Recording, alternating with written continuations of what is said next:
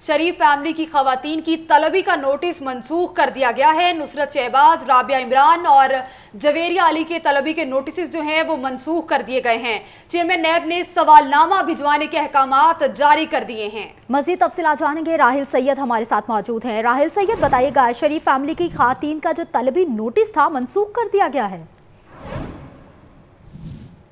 میں نیب جو آئے تھے آج جسٹس ڈائر جاوید اقبال نے اب جو نیب آفس لاہور کا دورہ کیا تھا، جہاں D G NAB Lahore Shahzad Saleem نے جو ہے انہیں تمام اہم کیسز کے حوالے سے بریفنگ دی، جس میں سر فہرست جو تھا وہ شریف فیملی اور خصوصاً شباز شریف فیملی کے کیسز تھے، جس میں مبینہ طور پر منی لانڈرنگ جو کیس ہے وہ بھی سر فہرست تھا۔ اس حوالے سے جو ذرائع نے جو ہمارے تصدیق کی تو یہ کہا گیا کہ جی جو شریف فیملی کی خواتین کو جو نوٹسز جاری کیے گئے تھے وہ ملتوی کر دیے گئے اور بعض زیادہ علامیہ بھی جو ہے وہ بھی جاری کیا گیا، جس میں کہا گیا ہے کہ شباز شریف کی جو اہلیہ نصرت شہباز کو سترہ اپریل کو طلب کیا گیا تھا، جبکہ ان کی دو بیٹیوں جویریہ اور جو رابعہ تھیں، انہیں اٹھارہ اور انیس اپریل کو جو ہے طلب کیا گیا تھا۔ تاہم، اب یہ نوٹسز کینسل کر دیے گئے ہیں اور فیصلہ یہ ہوا ہے کہ خواتین کو جو ہے سوال نامہ بھجوایا جائے گا اور سوال نامے کے ذریعے ان سے جو ہے مبینہ طور پر منی لانڈرنگ کے حوالے سے جوابات لیے جائیں گے۔ نیب نے جو اپنا اعلامیہ جاری کیا، اس میں ان کا کہنا یہ کہ وہ خواتین کا احترام کرتے ہیں اور تمام لوگ جو ہیں قانون کی نظر میں برابر ہیں۔ تاہم، خواتین کی وجہ سے یہ فیصلہ کیا گیا ہے کہ نوٹسز جو ہیں وہ کینسل کیا جائیں گے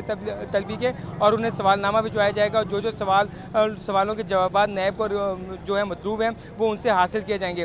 چیئرمین نیب جسٹس ڈائر جاوید اقبال نے آج جو ہے یہ ڈی جی نیب لاہور کو ہدایات جاری کی، جس کے بعد یہ اعلامیہ جاری کر دیا گیا کہ شریف فیملی کی کسی خاتون کو جو ہے طلب نہیں کیا جائے گا اور جو بھی مطلوبہ جو ہے انفارمیشنز ہیں جو نیب کو چاہیے اس کیس کے حوالے سے منی لانڈرنگ کے حوالے سے، تو وہ خواتین کو سوال نامہ بھیجو ان کے جوابات کے بعد آگے جو ہے قانونی کارروائی کا جو ہے آغاز کیا جائے گا۔ جی۔ اچھا راہل، یہ بھی بتائیے گا کہ یہ جاننا بڑا ضروری ہے کہ کن حقائق کو مد نظر رکھ کے نوٹسز کو منسوخ کیا گیا ہے؟